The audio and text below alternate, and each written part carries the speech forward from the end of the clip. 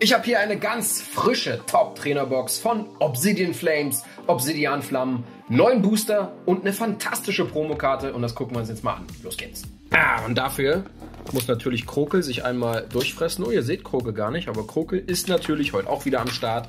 Folie wird befreit. Ihr kennt ja die Top-Trainer-Boxen mittlerweile, ihr wisst ja, was da so drin ist. Aber heute würde ich doch noch mal einen kleinen Blick in das Heftchen werfen.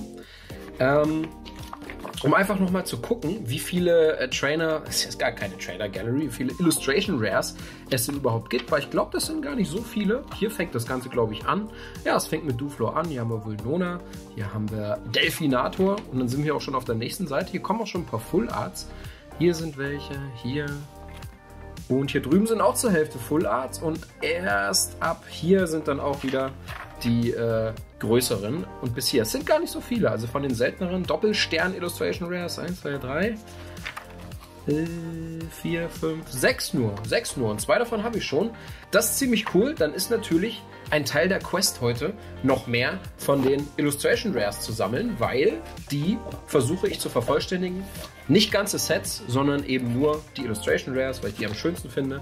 Hoffentlich befindet sich in einem von diesen neuen Boostern etwas davon, aber wir gucken uns natürlich, wie ich gerade eben schon erwähnt habe, die fantastische Promokarte an, die tatsächlich auch einfach in dem Set drin sein könnte. Ähm, ja, Glumanda, was hier ganz zornig das Taubsi äh, von drin beobachtet. Ach, hier unten ist noch ein Taubsi. Also das ist wirklich auch eine fantastische Karte. Ich muss sagen, die Top-Trainer-Boxen seit Karmesin und Purpur mit den ähm, Promokarten, die sind wirklich fantastisch. Also die sehen wunderschön aus und ich bin wirklich froh, dass wir sie in den Top-Trainer-Boxen bekommen. Ähm, bedeutet, die sind extrem günstig.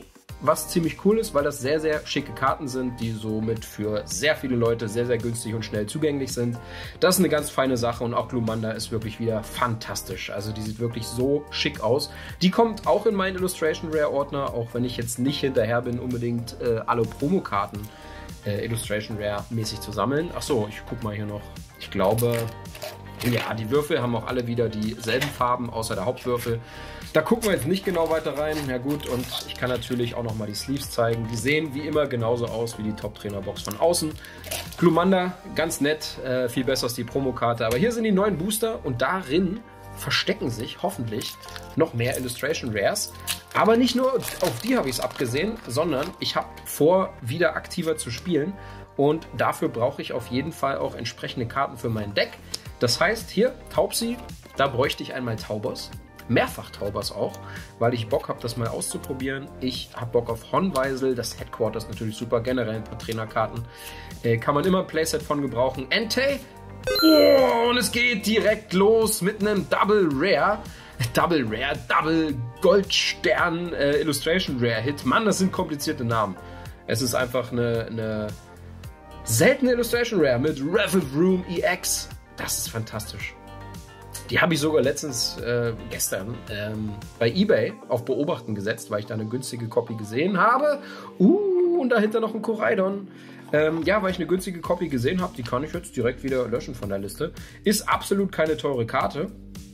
Ähm, aber so muss ich sie mir trotzdem nicht holen. Und ich habe, was hatte ich gesagt? Acht Doppelstern-Dinger gibt's und jetzt habe ich schon drei. Das ist natürlich sehr, sehr nice. Und das Koraidon ist auch sehr, sehr nice, muss ich sagen. Ist, glaube ich, keine sonderlich spielbare Karte. Ich meine, vielleicht kommt es noch. Der erste Angriff 20 und dann auch nochmal 2x20 auf der Bank für, für eine Energie und 230 für drei Energien. Ist jetzt nicht so schlecht, aber das andere Koraidon hat definitiv die bessere Ability. Deswegen glaube ich, dass man das erstmal nicht spielt. Aber es ist auf jeden Fall keine ultra schlechte Karte. Von daher sollte die irgendwann mal gut werden. Habe ich die jetzt auch in meinem Ordner und äh, kann natürlich benutzt werden. Swablu, Glimmet. Äh, ach ja, die Entwicklung. Äh, Glomora. Oh yeah, und es ist eine, eine Komia-Karte. Muss ich mal gucken, ob ich die schon habe. Ähm, Glimora EX nehme ich auch. Also hier sind generell ein paar EXs drin. Ah, leider nicht. Die ich gern mal ähm, irgendwann testen würde oder für den Fall, dass daraus mal richtig krasse Decks werden, ähm, sollte ich die natürlich da haben. Äh, aber ganz oben ist natürlich Glurak, der, äh, das große Glurak-Set ist das ja eigentlich. Also ich habe auch eine Liste gemacht von den Top 10 teuersten Karten, da könnt ihr auch gerne mal reinschauen, verlinke ich euch hier oben. Äh, das sind auf den ersten vier Plätzen, glaube ich, nur Gluraks und ähm, ja, es ist halt ein fettes Glurak-Set. Set. äh, Nochmal ein Darkrai. Ja, und selbst das normale Glurak EX war zumindest, als ich die Liste geschrieben habe, bei über 20 Euro. Hat sich wahrscheinlich mittlerweile wieder ein bisschen geändert, weil die Preise relativ schnell fallen. Ähm, ja, aber auch das Glurak hätte ich gerne ein paar Mal. Äh, ich habe es natürlich schon zweimal in der seltensten Variante, aber damit würde ich ungern spielen wollen. Auch hier nichts. Deswegen, oh, Palafin, das nehme ich natürlich auch, aber ich glaube, da habe ich auch schon vier oder fünf Stück von. Ähm, ja, deswegen brauche ich auch Glurak in der normalen EX-Variante nochmal. Also äh, kann hier gern nochmal was kommen. Ich meine, der Illustration Rare Hit im ersten Booster war schon mal sehr, sehr gut. Und auch das Koraidon, aber ich bin damit noch nicht zufrieden. Ich möchte noch mehr. Stoutland, das habe ich irgendwie auch noch gar nicht gesehen auf dieser Wiese. Ist ganz schick, würde ich mal sagen. Frogadier, Inkay und ein Bronzor und dahinter ein Togekiss. Auch das schon sehr oft gesehen, was aber daran liegt, dass es einfach gar nicht so viele Holos gibt. Es ist äh, auch ein viel, viel kleineres Set als das letzte. Äh, Entwicklungen aus Paldea, das war echt gigantisch groß. Das hier ist jetzt auf jeden Fall wieder Humana, was ich auf jeden Fall sehr cool finde. So aus Sammlersicht ist das schon angenehmer. Und ah, eine Amoongus und dahinter eine Gita, die ich auch schon in der alternativen Variante habe. Ähm, noch drei Booster Packs. Es geht immer recht schnell mit diesen Boxen, aber die sind auf jeden Fall ein netter Snack immer für zwischendurch. Und die Boxen hebe ich mir auch immer auf, da kann ich Sachen drin lagern. Ein Bautz von Komiya habe ich, glaube ich, schon äh, äh, letztens gezogen. Ein Obsidianer, ein Whiskash und ein Zigzagoon. Oh, und eine Rhyme. Okay, es ist auf jeden Fall absolut keine gute Karte. Aber mein Full Art Trainerordner freut sich über Rhyme. Auch wenn ich Rhyme echt nicht mochte im Spiel, die war ganz schön cringe, muss ich sagen.